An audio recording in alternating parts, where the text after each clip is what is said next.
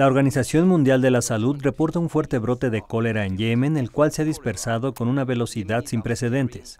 Al momento, la organización registra cerca de 23.500 casos sospechosos en las últimas tres semanas. El número de muertos por el actual brote de la enfermedad se incrementó a 242, precisó la OMS después de que autoridades de salud yemeníes se declararon en estado de emergencia por la infección.